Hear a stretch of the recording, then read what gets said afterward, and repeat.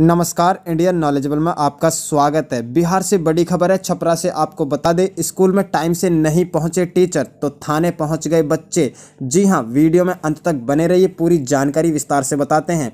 सारण के मसरक में एक सरकारी स्कूल के शिक्षकों की लेट लतीफ़ी से तंग आकर के कुछ स्टूडेंट थाने पहुँच गए। इससे पहले शिक्षकों के समय पर नहीं पहुँचने की वजह से उन्होंने मेन गेट पर ताला जड़ दिया था। फिर थाने पहुंचकर थाना अध्यक्ष, प्रिंसिपल और शिक्षकों की शिकायत कर दी। उन बच्चों ने मामला मसरक प्रखंड मुख्यालय के पास स्थित स्टेशन रोड उत्क्रमिक मध्य विद्यालय आश्रम का है। जी हाँ, आपको बता दें, छात्रों को देख मसरक थानेदार राजेश कुमार भी चौंक गए। पहले बच्चों की बातें सुनी और उनकी शिकायत नोट की।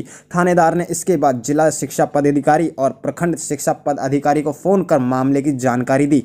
स्कूल की व्यवस्था को लेकर छात्रों की शिकायत के बारे में बताया। फिर थानेदार खुद बच्चों के साथ स्कूल पहुँचे और मेन गेट खुलवाया। जी हाँ, शिकायत पर आनंद फानन में सारे अधिकारी वहाँ पर पहुँच गए। बच्चों की ओर से ऐसी शिकायत मिलने के बाद प्रखंड शिक्षा पदाधिकारी डॉक्टर वीणा कुमारी आनंद फानन में मौके पर पहुँची। स्कूल पहुँचने पर वहाँ नियुक्त सभी नौ शिक्षक अनुपस्थित मिले। स्कूल का मुआवना करने के बाद प्रखंड शिक्षा पदाधिकारी ने बताया कि हेड मास्टर सहित सभी शिक्षकों से जवाब तलब किया जाएगा। इधर छात्रों के एक्शन में आने को लेकर चर्चाओं का बाज़ार गर्म हो गया। कोई इसी पीढ़ी नहीं सजगता बता रहा तो कोई स्थानीय राजनीति से प्रेरित मामला कह रहा है। जी हाँ बड़ी खबर है।